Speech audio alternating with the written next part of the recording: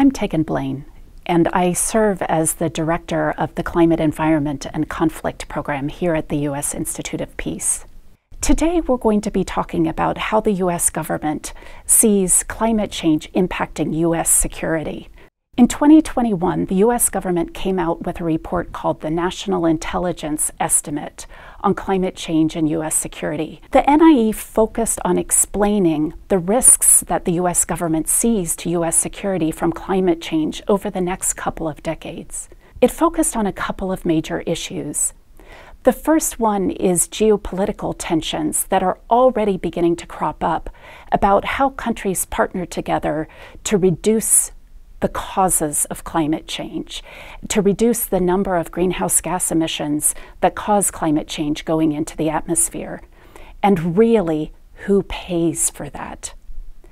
The second part of the report focused heavily on the physical impacts of climate change, how climate change is going to impact the world that we experience and what that means for security issues. There were two sets of issues there that the report focused on. One was on geopolitical tensions around hotspots that are likely to crop up, like shared water sources is likely to cause tensions between countries. The other part was really focused heavily on the risks of instability and conflict and what the ramifications might be for the United States and for U.S. partners. What this section boils down to is whether countries have the ability to adapt to climate change. Adapting to climate change is a huge challenge, and it's dependent on a few major things. One is how responsive governments are to the communities that they serve. When those communities are struggling with issues, does government listen to their concerns and can it provide the services that those communities need? Another aspect is what the development level of the country is. As individuals, do people have the resources that they need to adapt to climate change? Or as communities, do they have access to education? Do they have access to clean water and sanitation?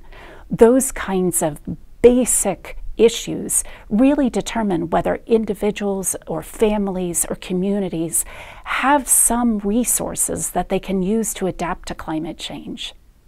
And then the third area is really about how dependent the economy and the society is on natural resources, because that's where we're going to feel climate change.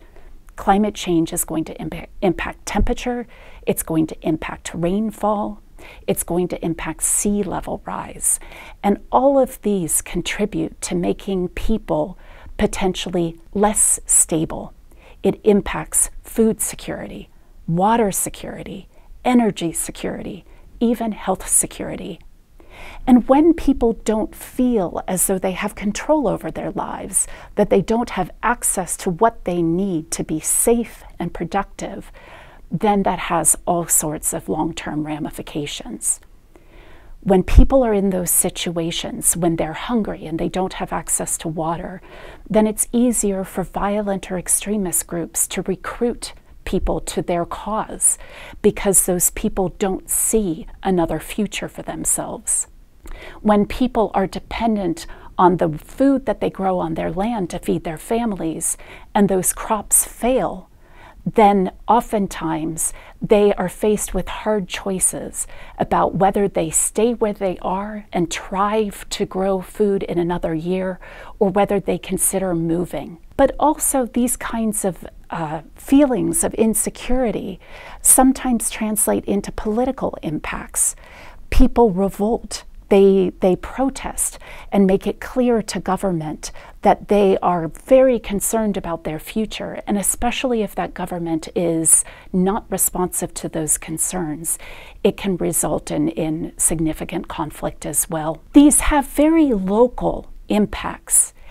Some of these issues may be restricted to certain geographies or certain communities, but many of these impacts can bubble up and have ramifications for the partnerships we have with countries all around the world and eventually for the security of the United States.